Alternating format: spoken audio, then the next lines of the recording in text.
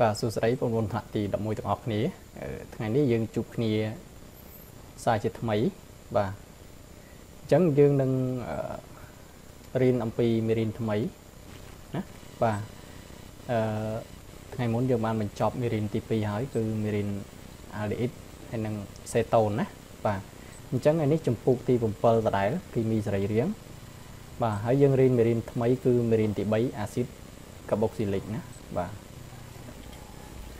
នៅក្នុងមេរៀនអាស៊ីតកាបុកស៊ីលិកនេះគឺជាមេរៀនចុងក្រោយណាបាទនៃឆ្នាំសិក្សា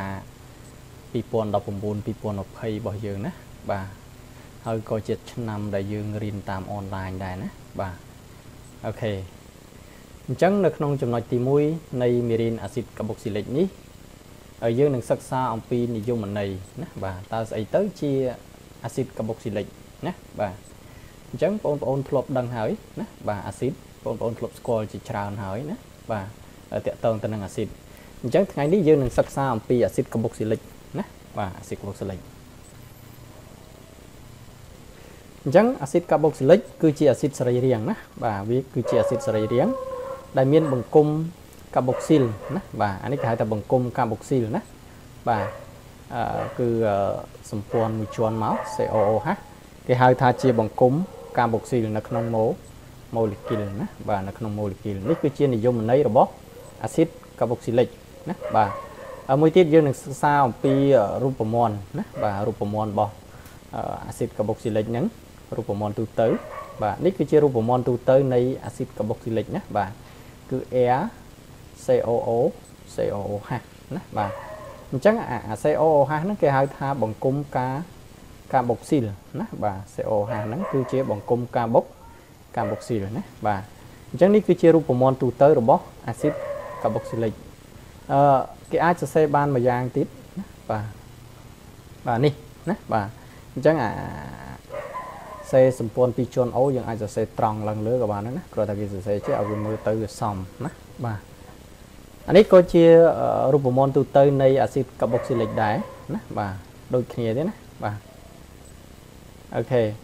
អញ្ចឹងនៅក្នុងនេះយើងឃើញថាយើងមាន CO ណាបាទ CO នេះ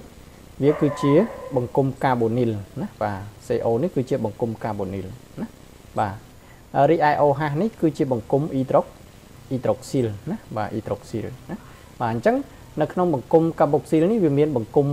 នេតិ2ទៀតគឺបង្គំនេតិកាបូនីល CO និងបង្គំនេតិអ៊ីដ្រុកស៊ីលណាបាទ OH ណាបាទ ឬក៏យើងអាចសរសេរ air នេះយើងអាចជំនួសដោយ CN ហះ 2N បូកបូក1ណាបាទអានេះគឺជារូបមន្តរបស់អាស៊ីតកាបុកស៊ីកាបុកស៊ីលិកណាបាទនេះគឺជារូបមន្តអាស៊ីតកាបុកស៊ីស៊ីលិកបាទអឺ air នេះណាបាទចំពោះ air នេះវាគឺជា radical ណាបាទ radical air ណាបាទអញ្ចឹង radical air នេះអាចជា hydrogen ណាបាទអ៊ីដ្រូសែនណានេះអាចជាអ៊ីដ្រូសែនហ្នឹងករណី n ស្មើ0ណាបាទករណី n ស្មើ0គឺអឺ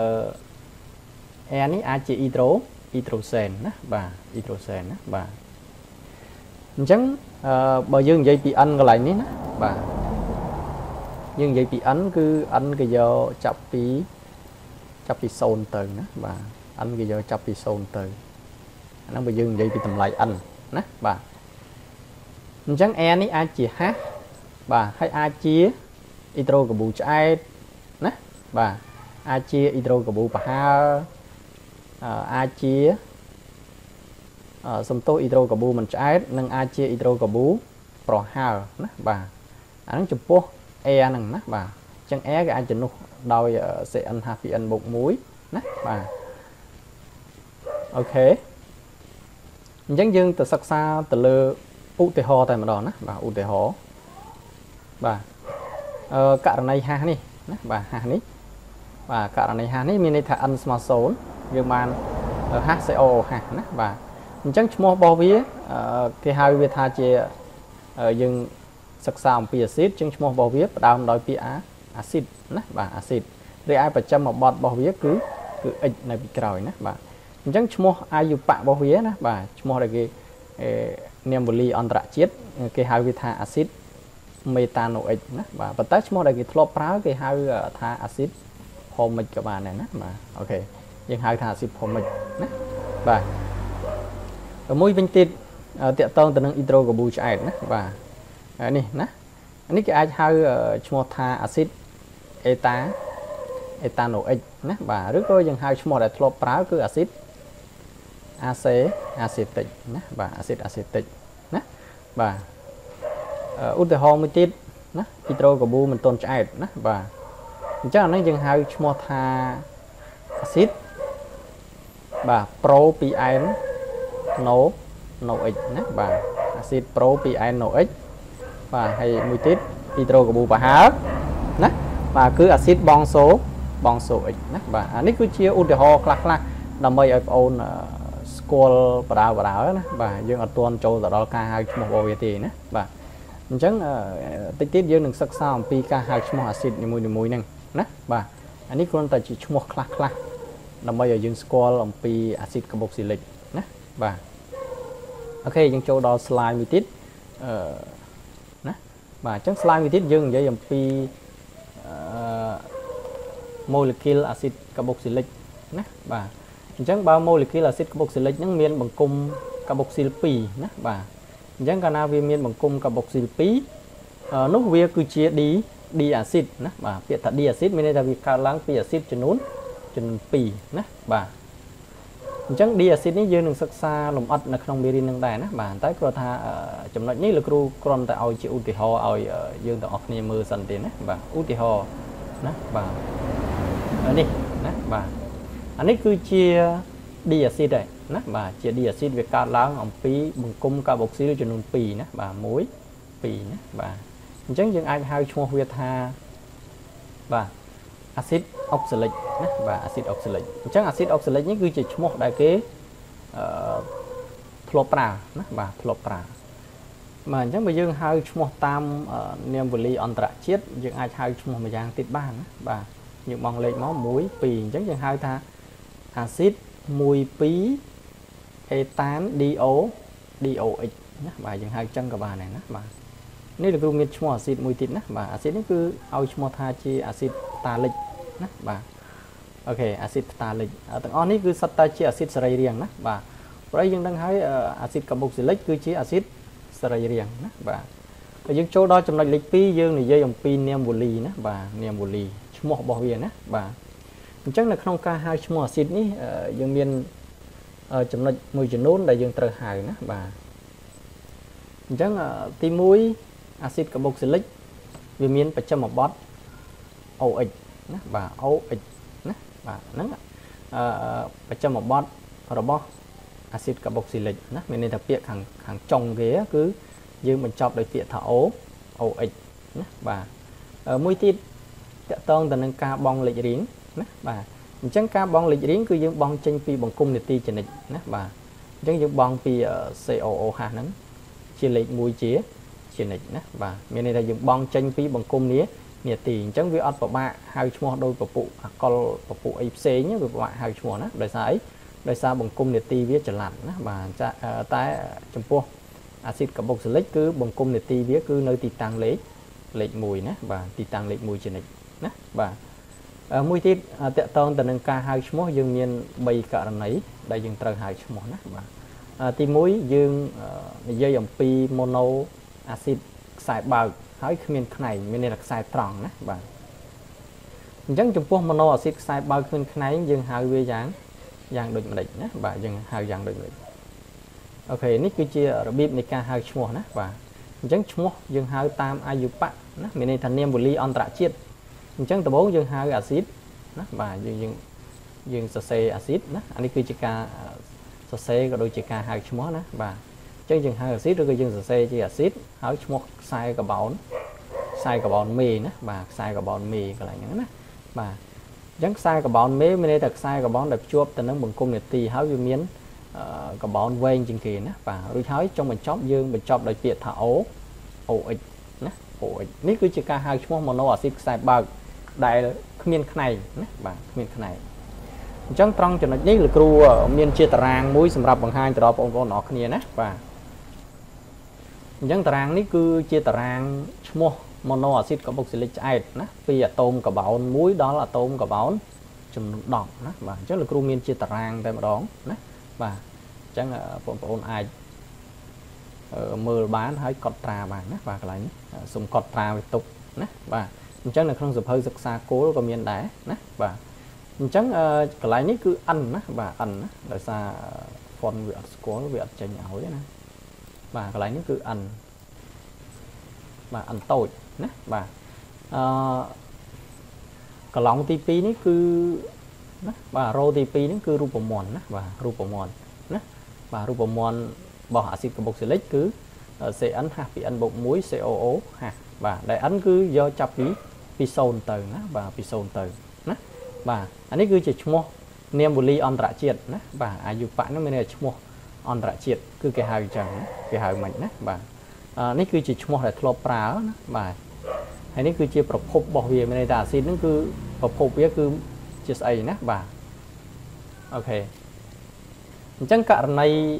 n ស្មើ0ណាបាទ n ស្មើ0យើងយក0មកចំណុចទៅយើងបាន0គុណ សេស្មើនឹង0បាទនេះគឺបាទ2គុណ0ស្មើ0អញ្ចឹងហាស់ស្មើ1ណាបាទអញ្ចឹងកន្លែងនេះគឺហាស់1ណាបាទ COO ហាស់ណាបាទអញ្ចឹងឈ្មោះនាមវូលីអន្តរជាតិគេហៅវាថាជាអាស៊ីតមេតាណូអិចណាបាទអាស៊ីតមេតាណូអិចរីឯឈ្មោះដែលធ្លាប់ប្រើគេហៅថាអាស៊ីតផផមិចណាបាទអញ្ចឹងប្រភពរបស់វាគឺចេញពីសម្ោចភ្លើងណាបាទសម្ោចភ្លើងណាបាទអញ្ចឹងនៅក្នុងសម្ោចភ្លើងមានអាស៊ីតហ្នឹងហើយ បាទមានអាស៊ីតផមិចហ្នឹងហើយណាបាទសម្ោចភ្លើងឬក៏សត្វក្រងអីណាបាទអូខេមួយទៀតករណី n ស្មើ1ណាបាទ n ស្មើ1គឺយើងបានបាទ CH3 COOH ណាបាទ CH3 COOH អញ្ចឹងឈ្មោះរបស់វាគឺបាទយើងរាប់មកអឺមេ A ណាបាទអញ្ចឹងអាស៊ីតអេតាណូអេតាណូ X ណាបាទរីឯឈ្មោះដែលធ្លាប់ប្រើយើងហៅវាថាជាអាស៊ីតអាសេតិកណាបាទ អាស៊ីតអាសេតិកនេះគឺប្រភពរបស់វាគឺទឹកខ្មេះដែលយើងប្រើប្រាស់រាល់ថ្ងៃណាបាទទឹកខ្មេះដែលប្រើប្រាស់រាល់ថ្ងៃជាអាស៊ីតអាសេអាសេតិកណាបាទមួយទៀតករណី n ស្មើ2ណាបាទអញ្ចឹង n ស្មើ2យើងបាន CH3 CH2 COH ណាបាទអញ្ចឹងយើងរាប់មកមេ A pro ណាបាទអញ្ចឹងអាស៊ីតយើងគឺអាស៊ីត propa propanoic បាទអាស៊ីត propanoic រី ឯឈ្មោះដែលធ្លាប់ប្រើគេហៅថាអាស៊ីត propiononic ណាបាទអាហ្នឹងគឺវាមាននៅក្នុងទឹកដោះគោណាបាទគេហៅទឹកដោះគោជូរទឹកដោះគោជូរណាបាទអូខេមួយទៀតករណី n ស្មើ3ណាបាទយើង n ស្មើ3យើងបានយើងរាប់មកមេ A pro បុយណាបាទគឺអាស៊ីតបុយតាណូបុយតាណូអិចណាបាទអាស៊ីតបុយតាណូអិចរីឯឈ្មោះដែលធ្លាប់ប្រើណាធ្លាប់ប្រើគឺគេហៅថាអាស៊ីតបុយទី បុយទីរិចបាទអាហ្នឹងគឺមាននៅក្នុង ber ណាបាទមាននៅក្នុង ber ណាបាទមួយទៀតករណី n ស្មើ4ណាបាទអញ្ចឹង n ស្មើ4អឺយើងបានយើងរាប់មកមេ A pro បុយប៉ង់ណាបាទប៉ង់អញ្ចឹងអាស៊ីតរបស់យើងគឺអាស៊ីតប៉ង់តាណូប៉ង់តាណូ X ណាបាទអាស៊ីតប៉ង់តាណូ X រីឯឈ្មោះដែលធ្លាប់ប្រើគឺអាស៊ីតវ៉ាឡេវ៉ាឡេរិក ណាបាទអាស៊ីតវ៉ាឡេរិកណាបាទប្រភពរបស់វាគឺយើងអត់និយាយទេកន្លែងនេះណាបាទអូខេមួយទៀតករណី n នេះស្មើ5បាទ n ស្មើ5យើងបាន CH3 បាទកន្លែងនេះលោកគ្រូលែងសរសេរសេហា2វែងទៀតហើយដោយសារវាវែងពេកវាអត់មានកន្លងមកសេណាបាទអញ្ចឹងលោកគ្រូសរសេរវា វងកញ្ចក់ឲ្យដាក់ថាលេខ4មានន័យថាអាសេហា2ហ្នឹងចំនួន4ដងណាបាទអញ្ចឹងអានឹងចំនួន4ដងណាបាទអញ្ចឹង4ដងបូក1ដងទៀត5ដង5ដងបូកកបោននេះមួយទៀត6ណាបាទ6អញ្ចឹងយើងហៅថាអាស៊ីតអិចសាណូអិចសាណូអិចណាបាទអញ្ចឹងកបោន6គឺអាស៊ីតអិចសាណូអិចរីឯឈ្មោះដែលគេធ្លាប់ប្រើគេហៅថាអាស៊ីត pro pro x ណាបាទអាស៊ីត pro x បាទ អញ្ចឹងតទៀតណាបាទតទៀតករណី C6 ណាបាទអញ្ចឹង C6 យើងបានអានេះយើងចំនួន5ដងណាបាទ5ដងសេហា2ហ្នឹងមានន័យថាវាមានចំនួន5ដងបើយើងបលាតវាឲ្យខ្សែត្រង់ទៅណាបាទវាមាន5ដងអញ្ចឹង5បូក1 6 6បូក1 7ណាបាទអញ្ចឹង7គឺអបតាណាអញ្ចឹងឈ្មោះរបស់វាគឺអាស៊ីតអបតាណូណូ X ណាបាទរីឯឈ្មោះដែលធ្លាប់ប្រើគឺអាស៊ីត អេណង់តិចណាបាទអេណង់តិចណាបាទអញ្ចឹងប្រភពរបស់វាគឺអាចជាទឹកដោះប្រប៉ែដូចគ្នាអញ្ចឹងណាបាទអាកន្លែងដែលលោកគ្រូអត់ដាក់ណាវាវាដូចគ្នាណាបាទអឺមួយទៀតសេហា8សេហា9គឺនេះគឺជាឈ្មោះរបស់វាណាបាទឈ្មោះរបស់វាយើងមើលទៅហើយនេះគឺជាប្រប្រភពណាបាទអញ្ចឹងរបៀបនៃការហៅឈ្មោះ mono acid carboxylic ឆ្អែតហ្នឹងគឺយើងមានឈ្មោះប៉ុណ្ណឹងដែលយើងហៅណាបាទ អាហ្នឹងគឺខ្សែត្រង់គឺយើងហៅអញ្ចឹងណាបាទយើងហៅទី1យើងហៅឈ្មោះអាស៊ីតរួចហើយបាទកបោនខ្សែត្រង់របស់យើងណាបាទយើងហៅតាមអាល់កានអញ្ចឹងបើ1យើងហៅថាមេមេតា2គឺអេតាណាបាទអូខេអញ្ចឹងរហូតទៅដល់ 10ដេដេកាណាបាទអូខេអញ្ចឹងត្រង់ការហៅឈ្មោះម៉ូណូអាស៊ីតកាបុកស៊ីលិកឆ្អែតលោកគ្រូសូមបង្ហាញតែប៉ុណ្្នឹងណាបាទ អញ្ចឹងយើងចូលដល់ចំណុចមួយទៀតតាក់តងទៅនឹងចំណុចលេខ2ណាបាទចំណុចលេខ2គឺយើងហៅឈ្មោះម៉ូណូអាស៊ីតខ្សែបើកប៉ុន្តែវាមានមានខ្នែងណាបាទអញ្ចឹងម៉ូណូអាស៊ីតខ្សែបើកប៉ុន្តែមានខ្នែងនៅក្នុងនេះយើងមានវិធានមួយចំនួននៅក្នុងការហៅឈ្មោះណាបាទទី1យើងជ្រើសរើសខ្សែកាបូនណាបាទខ្សែកាបូនដែលវែងជាងគេហើយមានបង្គំនីតិ COH នេះជាខ្សែ ជាខ្សែមេណាបាទជាខ្សែមេអញ្ចឹងដដែលដដែលដោយសារយើងរៀនច្រើនហើយងាយងាយទេក្នុងការហៅឈ្មោះហ្នឹងបាទទី2កាបូននីតិនេះណាបាទកាបូននីតិ COH នេះជាកាបូនដែលមានលេខរៀងលេខ1ចំណិចណាបាទជាកាបូនលេខ1ចំណិចមានន័យថាយើងបង់លេខ1លើនឹងជាចំណិចណាបាទទោះបីទោះបីជាវានៅទីណាក៏ដោយណាបាទគឺយើងបង់លេខ1ជាចំណិចបាទអឺមួយទៀត យើងត្រូវហៅឈ្មោះខ្នែងតាមលំដាប់អក្សរក្រមឡាឡាតាំងណាបាទអញ្ចឹងខ្នែងរបស់យើងអាចជាមេទីលអាចជាអេទីលអាចជាប្រូពីលណាបាទតាមលំដាប់អក្សរក្រមឡាតាំងណាបាទអាចជាពពុះអាឡូសែនណាបាទអាចជាអីផ្សេងអីណាបាទអាចជាពពុះអ៊ីដ្រូស៊ីលអីចឹងទៅណាបាទអូខេមួយទៀតករណីមួយទៀតណាបាទករណីមួយទៀតគឺថាករណីឈ្មោះធ្លាប់ប្រើណាបាទ អញ្ចឹងបើករណីឈ្មោះធ្លាប់ប្រើទីតាំងនៃខ្សែខ្នែងឬក៏បណ្ដុំជំនួសត្រូវតាំងដោយអក្សរក្រិចវិញណាបាទអញ្ចឹងអឺ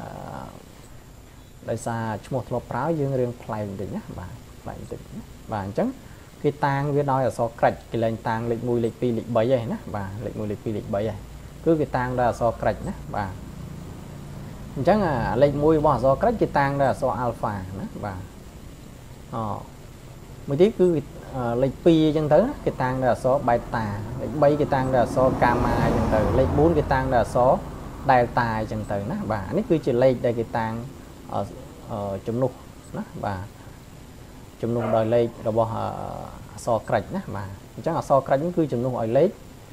នៅពេលដែលយើងហៅឈ្មោះផ្នែកតាមលំដាប់អក្សរក្រមឡាតាំងណាបាទប៉ុន្តែលោកគ្រូលើកទឹកចិត្តឲ្យយើងហៅតាមអាយុបៈណាបាទវាស្រួលហៅហើយយើងធ្លាប់ហៅណា បាទតាមនេះគឺយើងរៀនគ្រាន់តែឲ្យដឹងឲ្យស្គាល់ទៅណាបាទឲ្យដឹងឲ្យស្គាល់ទៅពេលលោកប្រធានលំហាត់គេដាក់មកយើងយើងអាចអឺពិបាកណាបើតែបើយើងរៀនហើយយើងអាចស្គាល់វាច្បាស់ណាបាទអញ្ចឹងយើងទៅសិក្សាទៅលើឧទាហរណ៍ណាបាទបាទនេះឧទាហរណ៍ណាបាទអញ្ចឹងបើយើងបងលេខណាបាទយើងបងលេខមានន័យថាកន្លែងនេះគឺលេខ1កន្លែងនេះលេខ2បាទលេខ3ណាបាទអញ្ចឹងយើងហៅឈ្មោះតាមអាយុបៈយើងហៅថា បាទខ្នែងគឺយើងហៅមុនណាបាទអញ្ចឹងយើងហៅខ្នែងមកបាទអាស៊ីតណាកុំភ្លេចយើងប្រើពាក្យអាស៊ីតនៅមុខណាបាទអាស៊ីត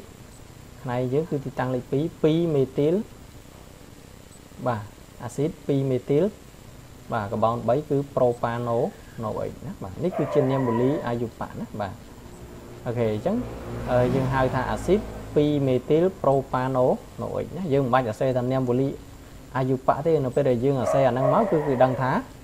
អាហ្នឹងគឺយើងហៅតាមនាមវូលីអាយុបៈហ្នឹងហើយណាបាទអានេះគ្រាន់លោកគ្រូចង់បញ្ជាក់បាទលោកគ្រូសេអាក្រហមនេះថាអាហ្នឹងគឺការហៅឈ្មោះតាមនាមវូលីអាយុបៈណាបាទគឺយើងហៅមានលេខណាបាទមានលេខនៅពីមុខផ្នែកណាបាទនៅពីមុខផ្នែកណាបាទអអញ្ចឹងលោកគ្រូលុបលេខនឹងចេញណាបាទករណីទី2យើងអាចហៅតាមឈ្មោះដែលធ្លាប់ប្រើណាបាទ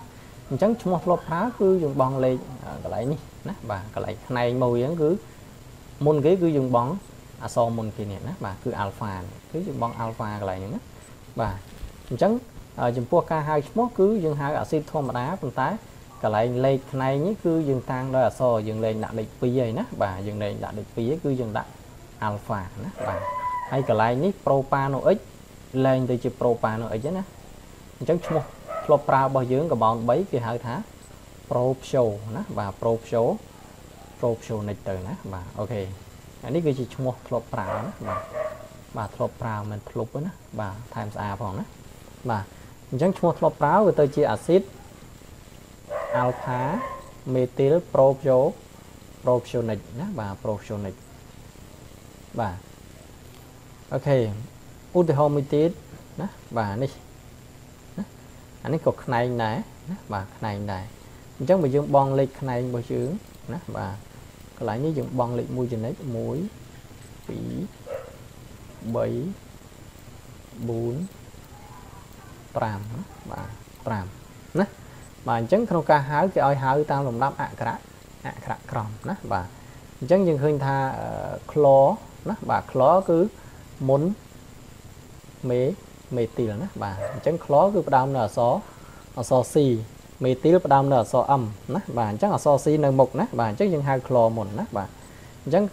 យើងហៅតាមនាមវលីអន្តរជាតិណាអាយុបៈគឺយើងហៅថាអាស៊ីត3ក្លក្លរ៉ូ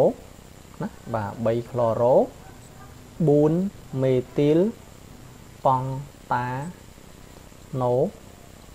ណូ x ណាបាទអានេះគឺជាឈ្មោះ ដែលយើងហៅតាមឈ្មោះអន្តរជាតិណាបាទគឺអាស៊ីត3ក្លរ៉ូ4មេទីលប៉ង់តាណូណូ x ណាបាទអាហ្នឹងយើងហៅអញ្ចឹងណាបាទអូខេករណីមួយទៀតយើងហៅតាមឈ្មោះធ្លាប់ប្រើវិញម្ដងណាបាទគ្រូលុបនេះចេញកុំឲ្យយើងច្រឡំណាបាទអញ្ចឹងក្នុងការហៅឈ្មោះធ្លាប់ប្រើមានន័យយើងបង់មិនមែនបង់អសហ្នឹងនៅលើទីតាំង អឺ COOH ហ្នឹងទេណាបាទយើងអត់បង់លើនឹងទេគឺយើងបង់ចាប់ពីពីកន្លែងនេះទៅណាបាទចាប់ពីនេះទៅណាចាប់ពីទីតាំងលេខ2នេះទៅវិញណាដេញទៅទៅនេះវិញណាបាទដេញទៅមុខណាបាទអញ្ចឹងអាមុនគេយើងដាក់ alpha alpha ពីមុខមកណាបាទរួចហើយបន្ទាប់ទៀតគឺ beta នៅខាងនេះណាបាទខាងនេះគឺយើងដាក់ gamma មកបាទហើយរីឯខាងខាងនេះគឺ delta ណាបាទ delta អូខេ នេះគឺជាការបង់លេខបង់អក្សរឈ្មោះអាស៊ីតកាបុកស៊ីលិកដែលយើងធ្លាប់ធ្លាប់ប្រើណាបាទរីឯការហៅឈ្មោះគឺដូចគ្នានឹងអាយុបៈដែរគ្រាន់ថាយើងជំនួសលេខនេះដោយដោយអក្សរណាបាទដោយអក្សរណាបាទជំនួសកន្លែងលេខនេះគឺដោយអក្សរហើយកន្លែងឈ្មោះនេះគឺដោយឈ្មោះដែលធ្លាប់ប្រើណាបាទអញ្ចឹងយើងអាចហៅថាអាស៊ីតបាទ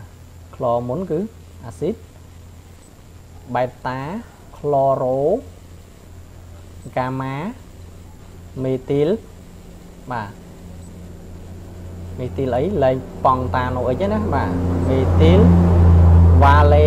វ៉ាឡេរិកណាបាទមេទីលមេទីលវ៉ាឡេរិកណាបាទនេះអញ្ចឹងវ៉ាឡេរិកនេះគឺតាំងឲ្យប៉ង់តាណូណូអិចណាបាទប៉ង់តាណូអិចគឺជាឈ្មោះបាទប៉ង់តាណូអិចនេះគឺជាឈ្មោះ អន្តរជាតិរីឯវ៉ាឡេរិកនេះគឺជាឈ្មោះដែលយើងធ្លាប់ប្រើណាបាទបាទអូខេណាបាទនេះគឺផ្លិចដាក់ស្អាតទេណាបាទអញ្ចឹងនៅក្នុងការហៅឈ្មោះអាស៊ីតខ្ញែងគឺលោកគ្រូមានតែប៉ុណ្្នឹងណាបាទលោកគ្រូមានប៉ុណ្្នឹងនេះគឺជាឧទាហរណ៍គំរូណាប៉ុន្តែលោកគ្រូលើកទឹកចិត្តឲ្យយើងហៅតាម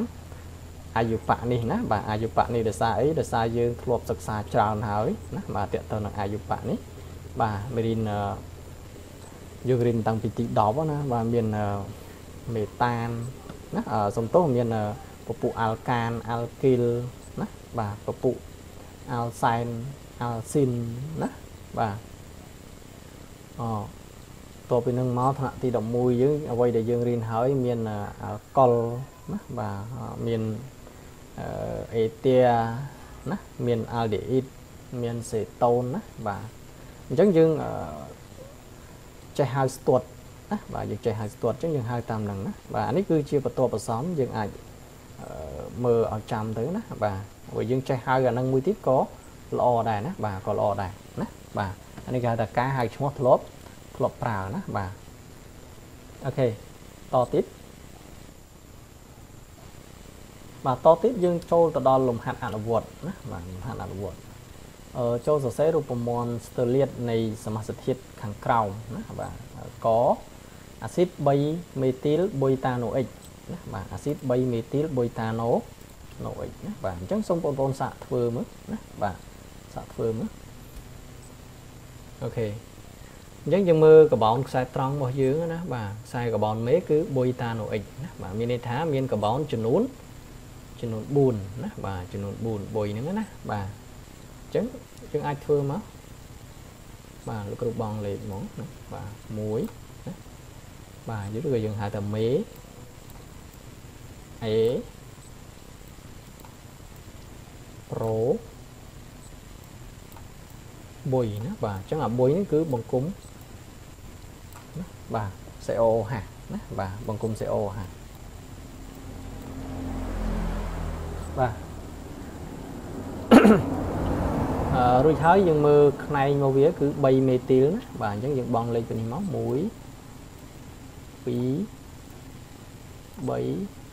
4ណាបាទអញ្ចឹងផ្នែកចំកន្លែងនេះណាបាទផ្នែកយើងគឺមេទីល CH3 បាទ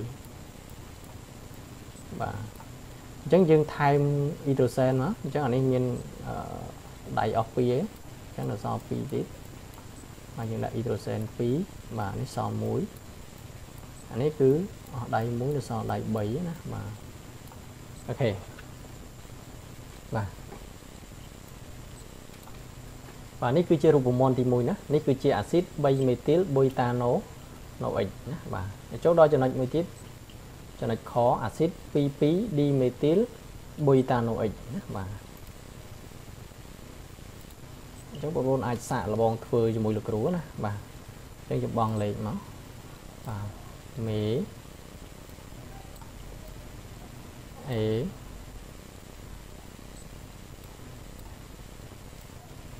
Pro បុយ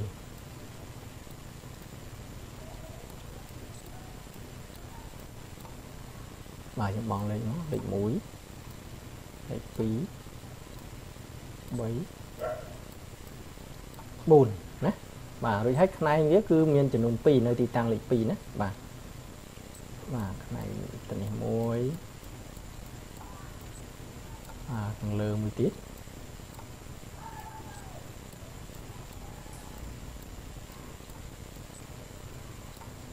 បាទខាងលើមួយទៀតណាបាទអញ្ចឹងកន្លែងនេះអស់ហើយណាបាទកបោនអស់ដៃ4ហើយណាបាទអញ្ចឹងខាងនេះកបោនអស់ដៃ2នៅសល់2ចាប់ជាមួយអ៊ីដ្រូសែន2អានេះគឺកបោនអស់ដៃ1នៅសល់3ចាប់ជាមួយអ៊ីដ្រូសែន3ណាបាទ អញ្ចឹងនេះគឺជារូបមន្តនៃអាស៊ីតណាបាទរូបមន្តស្ទើលៀតនៃអាស៊ីត22ឌីមេទីលបុយតាណូបុយតាណូអិចណាបាទអញ្ចឹងយើងចូលដល់ចំណុចមួយទៀតបាទអាស៊ីត2ក្លរ៉ូបុយតាណូអិចណាបាទអញ្ចឹងសង្ឃឹមថាបងប្អូនអាចសរសេរបានណាណាបាទអូខេអញ្ចឹងលោកគ្រូសរសេរឲ្យតទៀតហើយទីងទាត់ជាមួយលោកគ្រូទាំងអស់គ្នាណាបាទមេ A Pro បុយបាទអញ្ចឹង 2 chloro ណាបាទយើងបង់លេខមកបាទលេខ2គឺនៅខាងនេះណាបាទអញ្ចឹងអឺដាក់ chlor មកកន្លែងនេះបាទអញ្ចឹងនេះខ្វះ hydrogen មួយណាបាទនេះគឺ2នេះគឺ3ណាបាទ អានេះគឺជាអាស៊ីត2 chloro butano noic ណាបាទឬក៏យើងលើកខ្លងដាក់ខាងលើនេះក៏បានដែរណាអត់អីទេណាបាទបាទយើងអាចសរសេរអញ្ចេះក៏បានដែរ CH3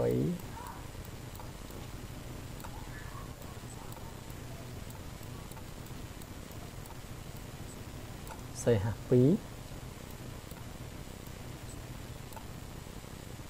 អា CH ហើយនឹង chlor នេះដាក់ឡើងលើនេះក៏បានដែរអត់អីទេណាបាទជាមួយនឹង COO ហាបាទអូខេអញ្ចឹងអាហ្នឹងក៏យើងហៅថាអាស៊ីត 2 chlorobutanoic ដែរណាបាទហើយមួយទៀត c អាស៊ីត 3 promo 2 methyl butano noic ណាបាទអញ្ចឹងអានេះមានក្រុមចំនួនផងមាន ផ្នែកមេទីលផងណាបាទអញ្ចឹងមានផ្នែកចំនួន2ណាបាទអូខេងាយងាយណាបាទហើយគ្រូដូរពណ៌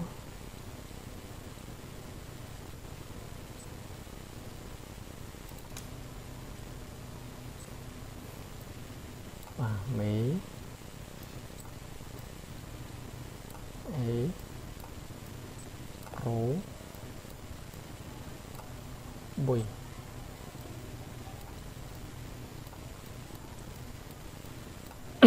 បាទអញ្ចឹងយើងមានលេខ2ទីតាំងលេខ2គឺមេទីលណាបាទតបមកទីតាំងលេខ3នេះគឺប្រូម៉ូណាបាទអញ្ចឹងប្រូម៉ូលោកគ្រូដាក់លើមកណាបាទអញ្ចឹងយើងដាក់ថាអានេះដាក់5ហើយមកអា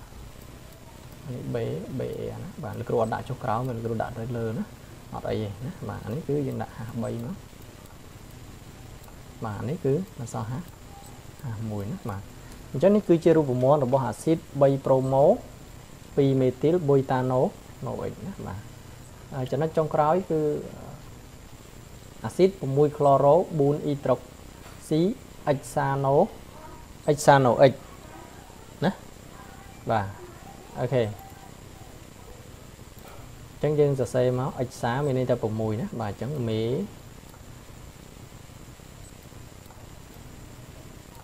អេប្រូពុយបងអាចបាទអិចសាបាទ ចឹងយើងបង់លេខមក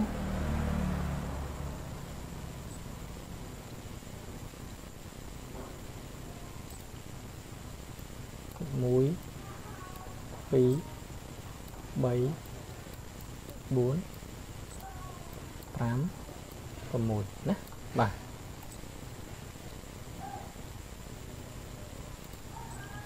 បាទរួចហើយគឺ6ក្លរ៉ូយើងអាចដាក់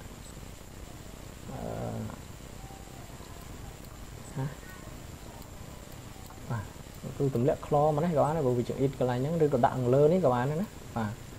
ចានេះខ្លរួចហើយ4អ៊ីត្រូស៊ីណាបាទចឹង4អ៊ីត្រូស៊ីអ៊ីត្រូស៊ីរបស់យើងគឺ O OH ណាបាទអញ្ចឹងអានេះអស់3ហើយអស់ដៃ3នៅសល់51ណាបាទសល់ដៃ1ភ្ជាប់ជាមួយហាបាទនេះអស់ដៃ2នៅសល់ដៃ2ភ្ជាប់ជាមួយនឹងហាចំនួន2បាទអញ្ចឹងនេះអស់ដៃ 1 2អញ្ចឹងចូលជាមួយហាស់បានហាស់2ដែរណាបាទហាស់2ដែរបាទនេះគឺហាស់2នេះហាស់2ណាបាទអូខេនេះគឺជាចម្លើយណាបាទនេះគឺជាចម្លើយអាស៊ីត6ក្លរ៉ូ4អ៊ីត្រូស៊ីអិចសាណូអិចសាណូអិចណាបាទនេះគឺជាចំចម្លើយណាបាទអូខេយើងចូលដល់ចំណុចមួយទៀតណាបាទចំណុចមួយទៀតអ ញ្ចឹងក្នុងការហៅឈ្មោះនេះពួកយើងប្រកាសជាអាចហៅបានហើយណាបាទដោយសារយើងរៀនច្រើនហើយណាបាទលោកគ្រូមិនជាលំអិតអីពេកទេណាបាទដោយសារបងប្អូនធ្លាប់សិក្សាច្រើនហើយណាបាទអញ្ចឹងយើងចូលដល់លេខ3ហ្មងទៅណាបាទគឺ polyacid ណាបាទអញ្ចឹងបើយើងនិយាយពី polyacid មានន័យថាវាដូចជាមួយនឹង diacid ដែរណាបាទគ្រាន់ថាវាអាចមានអាស៊ីតលើសពី2ណាបាទលើសពី2ណាបាទ អូខេអញ្ចឹងយើងសិក្សានិយមន័យរបស់វា polyacid ជាសមាសធាតុសរីរាង្គណាបាទដែល molecule វាមានបង្គំ carboxyl 2ឬក៏ច្រើនណាបាទ2ឬក៏ច្រើនណាអញ្ចឹងវាអាចមានអានឹង2ឬក៏ឬក៏ច្រើនណាបាទប៉ុន្តែអ្វីដែលគេធ្លាប់ប្រើគឺគេប្រើអា2ណាចាបាទជាញឹកញឹកគេប្រើអា2នេះណាបាទអញ្ចឹងនៅថ្នាក់យើងយើងយើងរៀនតែអា2ណាបាទបង្គំ carboxyl 2ណាបាទអ មួយទៀតយើងនិយាយពីឈ្មោះរបស់វាណាបាទការហៅឈ្មោះ poly acid តាមអន្តរជាតិណាបាទគឺយើងហៅឈ្មោះអាស៊ីតរួចហើយយើងហៅឈ្មោះខ្សែកាបូនដូចមុនអញ្ចឹងណាបាទរួចហើយយើងបូកនឹង DOH ណាបាទអ្វីដែលប្លែកគឺ DOH ឬក៏ 3OH ណាបាទអញ្ចឹងបើអាបង្គំកាបុកស៊ីលនឹង2គេហៅវាថា DOH ប៉ុន្តែបើបង្គំកាបុកស៊ីលនឹងវាមាន3គឺ 3O 3OH តែប៉ុណ្្នឹងតែអ្វីដែលប្លែកណាបាទ អញ្ចឹងលោកគ្រូមានជាតារាងហ្មងណាបាទតារាងហ្មងទៅជាឧទាហរណ៍កុំឲ្យវាស៊ី space ច្រើនពេកណាបាទអញ្ចឹងករណីនេះណាបាទករណីនេះយើងមាន D acid ចំនួន2ណាបាទ D acid ចំនួន2ណាបាទយើងមានបង្គំកាបុកស៊ីលចំនួន2ណាបាទនេះណាបាទអញ្ចឹងយើងហៅឈ្មោះថាឈ្មោះតាមអន្តរជាតិណាបាទគឺអាស៊ីតបាទបើយើងបងលេខមក1 2ណាបាទអញ្ចឹង1 2 អេតាន DO OH ណាបាទ1 2អេតាន DO DOH ណាបាទគឺយើងហៅអញ្ចឹងណាបាទរីឯឈ្មោះធ្លាប់ប្រើគឺគេហៅថាអាស៊ីតអុកសាលិកណាបាទអាស៊ីតអុកសាលិកវិញណាបាទអានេះឈ្មោះធ្លាប់ប្រើណាបាទករណី D អាស៊ីតមួយទៀតណាបាទឬក៏ poly អាស៊ីតមួយទៀតគឺអឺយើងមាន HCOH ណាបាទ CH2 បាទ COH ណាបាទយើងបងលេខទៅគឺ1 2 3ណាបាទ3អញ្ចឹងមានន័យថាអាស៊ីតរបស់យើងបង្គំកាបុកស៊ីលរបស់យើងគឺស្ថិតនៅទីតាំងលេខ1និងលេខលេខ3ណាបាទអញ្ចឹងយើងហៅឈ្មោះមកអាស៊ីត1 3បាទអញ្ចឹងកបោនយើង3យើងហៅថាប្រូណាមេ A ប្រូណាបាទអញ្ចឹងកបោនមេយើងវែងជាងគេត្រឹម3ណាមេ A ប្រូអញ្ចឹងយើងហៅថាប្រូប៉ាន DO DOH ណាបាទអាស៊ីត1 3ប្រូប៉ាន DOH ណាបាទរីឯឈ្មោះធ្លាប់ប្រើយើងហៅថាអាស៊ីត malo malonic ណាបាទមួយទៀតករណីសេហា2នេះចំនួន2ណាបាទអញ្ចឹងកាលណាស្វ័យគុណ2មានន័យថាសេហា2ហ្នឹង2ដងណាបាទ2ដងណាបាទអញ្ចឹងអាហ្នឹងបើយើងបង់លេខមក1 2 3 4ណាបាទអញ្ចឹងយើងហៅមកអាស៊ីត14បុយតាន DO DOH ណាបាទឬក៏អាស៊ីតស៊ុចស៊ីនិកណាបាទនេះឈ្មោះធ្លាប់ប្រើណាបាទមួយទៀតករណី CH2 នេះចំនួន3ដងវិញម្ដងអញ្ចឹងយើងបង់លេខពីណាទៅក៏បានដែរណា1 2 3 4 5ណាបាទអញ្ចឹងអាស៊ីតរបស់យើងគឺអាស៊ីត15ប៉ង់តាន DOH ណាបាទមានន័យថាអា15ហ្នឹងគឺទីតាំងរបស់ បង្គំកាបុកស៊ីលណាបាទមានន័យថាវានៅទីតាំងលេខ1 1លេខ5មួយណាបាទអញ្ចឹងអាស៊ីត15ប៉ង់តាន DO DOH ណាបាទឬក៏យើងហៅឈ្មោះធ្លាប់ប្រើគេហៅថាអាស៊ីតក្លុយតានិកណាបាទមួយទៀតបាទករណីនេះយើងបង់លេខមក1 2 3 4 5 6ណាមានន័យថា4បូក2 6ណាបាទអញ្ចឹងអាស៊ីតរបស់យើងគឺ ស្ថិតនៅទីតាំងបង្គំកាបុកស៊ីស្ថិតនៅទីតាំងលេខ1និងលេខ6ណាបាទអញ្ចឹងអាស៊ីត16អិចសាន DOH ណាបាទឬក៏ឈ្មោះធ្លាប់ប្រើគឺអាស៊ីត AD AD ពេជ្រណាបាទអញ្ចឹងនេះគឺជាឧទាហរណ៍មួយចំនួននៃ poly acid ណាបាទនៃ poly acid ណាបាទអញ្ចឹងលោកគ្រូសង្ឃឹមថាបងប្អូនអាចហៅវាបានណាបាទលោកគ្រូពុំបានលំអិតទេកន្លែងហ្នឹងណាបាទប៉ុន្តែយើងមើលទៅលើឧទាហរណ៍ហ្នឹងទៅណាបាទអញ្ចឹងឧទាហរណ៍នេះគឺបានលំអិតហើយណាបាទបានលំអិតហើយណាបាទអញ្ចឹងយើងមានទាំងឈ្មោះអន្តរជាតិយើងមានទាំងឈ្មោះធ្លាប់ប្រើណាបាទអញ្ចឹងយើងអាចបើគេស៊ូឈ្មោះមួយណាក៏យើងស្គាល់ដែរណាករណីនេះណាបាទយើងស្គាល់ណាអូខេអញ្ចឹងតកតងនឹងនាមវលីគឺលោកគ្រូសូមបញ្ចប់តែប៉ុណ្ណេះណាបាទការហៅឈ្មោះបាទយើងមាន3ចំណុចហ្នឹងគឺទី1យើងហៅឈ្មោះកបោនខ្សែត្រង់បាទកបោនខ្សែត្រង់តកតងនឹងអាស៊ីតដែលមានកបោនខ្សែត្រង់ណាបាទ ហើយមួយទៀតយើងហៅអាស៊ីតដែលមានកបោនខ្នែងណាបាទកបោនខ្នែងហើយមួយទៀតយើងហៅប៉ូលីអាស៊ីតណាបាទមានន័យថាអាស៊ីតដែលមានម៉ូលេគុលវាមានបង្គំនាទីកាបុកស៊ីល2ឬក៏លើពី2ហ្នឹងណាបាទអូខេចំណុចនេះលោកគ្រូសូមបញ្ចប់ប៉ុណ្ណេះថ្ងៃក្រោយវីដេអូក្រោយយើងនឹងរៀនអំពីសិក្សាអំពីលក្ខណៈរូបលក្ខណៈគីមីរបស់ អាស៊ីតកាបុកស៊ីលិកហ្នឹងណាបាទអូខេអញ្ចឹងយើងសូម slash តែប៉ុណ្ណេះសិនណា